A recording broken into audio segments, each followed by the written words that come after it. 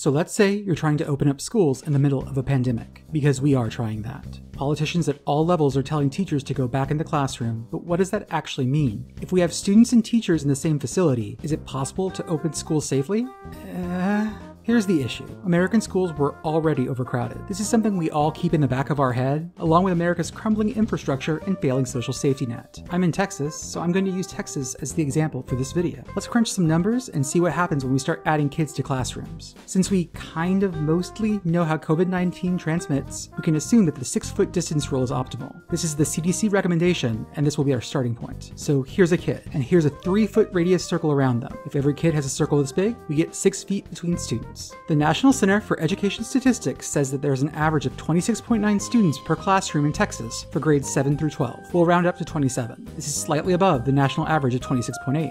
So, for 27 kids in their circles, how much space do we need? Let's do some math. Pi r squared, math, math, math, math. We find out that each kid needs about 28.3 square feet. So for just 27 students, a class needs to have at least 763 square feet of space. Texas laws say that classrooms at the secondary level shall have a minimum of 700 square square feet per room or 28 square feet per student. This is already not going well. Kids aren't just in a blank void either. They have to be in a room. And these circles won't pack perfectly into a room, but let's see what we can get. If we do one row of 13 and one row of 14, that gives us a room. This room is going to have some empty space, and now we need a room of 1,008 square feet, which is about 37 square feet per student. Let's try a different arrangement. Three rows of seven and one row of six. Well, this gives us a room that's still 1,008 square feet. In fact, even if we try to maximally pack them in there in whatever weird configuration, it'll still keep us right around a thousand square feet. Okay, but how big is that? What is a thousand square feet? For about $1.1 million, you can have an apartment that large on East 69th Street and Lexington in Manhattan. It's basically the size of a standard two bedroom apartment, a fourth of a basketball court,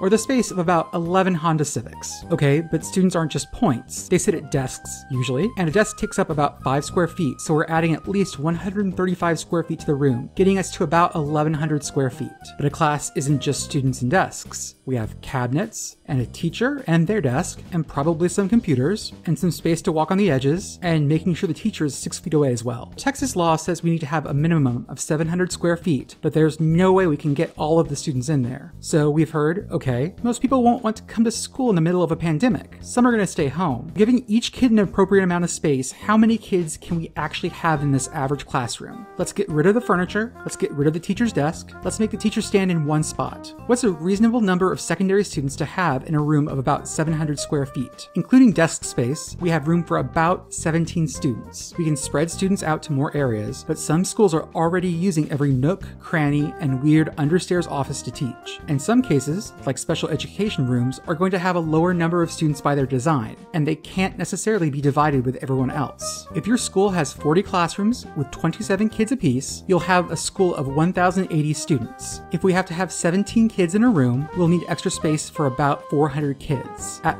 best, we'll be working at two thirds capacity. While some schools might get to that number, places with families who are Black, Indigenous, and people of color or Latinx tend to have jobs that can't be done from home. That means the lower socioeconomically a school is, the more likely a larger number of students will have to be at school. And we're really pushing it at that two thirds number. But you don't just have students, you have teachers, many of which who are in their 60s, other staff, substitutes, many of which who are retired teachers, and everyone else that works to make a school run. The good news there has been some limited research that suggests kids might not transmit coronavirus to adults as effectively as adults spread it to other adults. Unfortunately, that research is still extremely limited, so the CDC standard remains. Younger children also seem to not be as affected by COVID 19 as adults. Look, normal isn't going to be possible. At best, we'll have schools that look more like clean rooms than classrooms, and at worst, we'll be putting teachers and students in a situation that could compromise their short term and long term health. We know what we should do, but at most schools, it won't be possible. We have to ask ourselves is it worth sending teachers and students back when we know we can't protect them as well as we should? Thanks for watching, and stay safe.